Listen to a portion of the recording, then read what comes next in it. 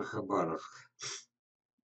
Валерий Константинович, расскажите на вебинаре. Первое. Как правильно делать скелетные прививки на яблоне дичке? А мы все это проходили. И когда можно из леса перенести на участок дичку? Какой высоты? И надо ли делать обрезку наполовину при пересадке на участок? Сколько раз? Да. Последнее, где-то она, видимо, Ирина уже слышала, что я ярый сторонник половину обрезать при пересадке. Ну, половина это образно.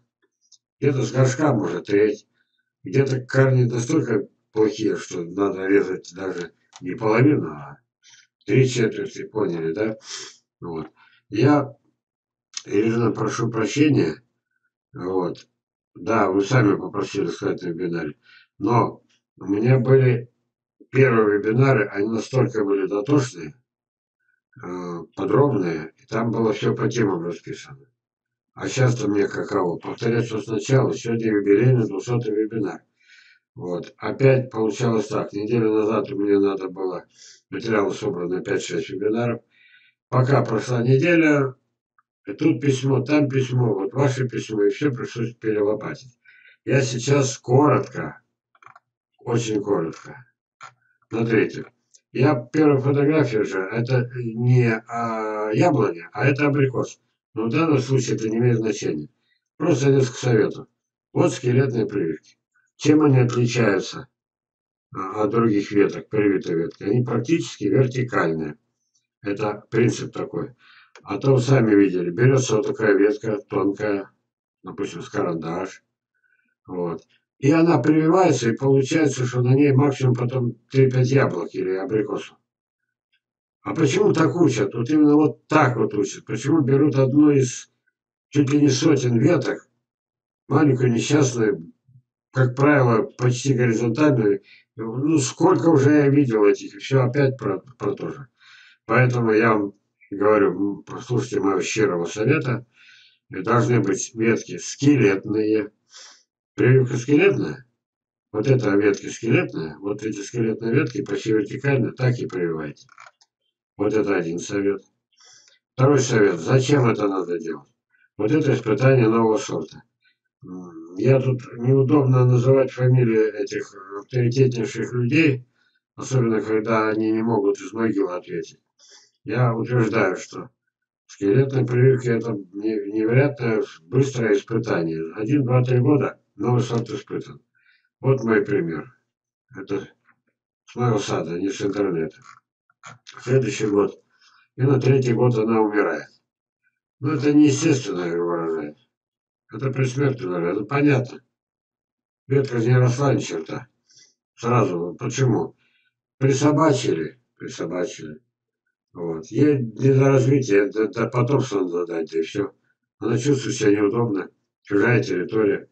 Вот. Генетическая несовместимость с основным штамбом, с основным скелетом. Вот, значит, вторая задача. Первая – это техническая, почти вертикальная или вертикальная. Вот, испытание новых сортов. И что еще добавим? Давайте следующее. Вот это вот от меня веточку получила эта дама. И она привела грушу, шикарнейшую грушу на абрикос. И целый фильм. Это фильм. Я просто фотографии делал с этого. Вот еще пример. Что при этом происходит? Если межвидовые прививки, получается еще быстрее. Вот он еще мой пример любимый. У меня есть фотографии, они у меня отдельно. Это для будущих учебников. Для будущих учебников биологии в школах. Для будущих студентов. Вот для кого это все. Вот, пожалуйста, грушу привил. Но тут еще хитрее. Это скелетная прививка, но фактически не скелет, а в плодовую веточку привил и тут же урожай. Вот там была судьба вот такая, на второй год еще урожай, на третий год еще было, второй год две груши, она ни черта не росла, эта ветка, она плодовая, на второй год две груши, на третий одна, на четвертый год смерть. Но испытать можно довольно быстро. Ну, еще похоже нашел фотографию, прививка груши скелет яблони. Вот. Ну и еще скажу, если есть возможность только на одно двухлетнее подвой, только у земли и как вот пальцы позволяют как можно ниже. Это и есть успех. А скелеты я уже назвал, почему нужно ее делать. Испытывайте. Хотите, проверяйте. И да, и вот действительно, сегодня я снимал фильм, вот, и как раз я снимаю фильм, подъезжает машина с это, Черногорки, мужчина женщина. Мне так обидно было. Они мне сразу вместо порох, Валерий они весной покупали саженцы у Сергея. Проблем нет, приехали, ну, из-за доверия приехали. Все в порядке, еще хотим. Вот. И тут э, в фильме я даже кое-что про это заикнулся, но еще расскажу. Купили, прошло пять лет, груша. Она была выписана с Урала, с крупнейшего питомника. Большой даже знает, с какого крупнейшего. Есть крупнейший. Вот. Легко догадаться. Пять лет ждали, первые груши. Значит, попробовали несъедобные. Решили подождать некоторое время. А вдруг они повисят, повисят и, и станут сладкими. Они повисели, они их тогда разрезали, они черные. Вместо сладкие стали черные. Вот. И я говорю, ну поймите, друзья мои, ну, вот вам, я сейчас это самое, э, расскажите вашу историю.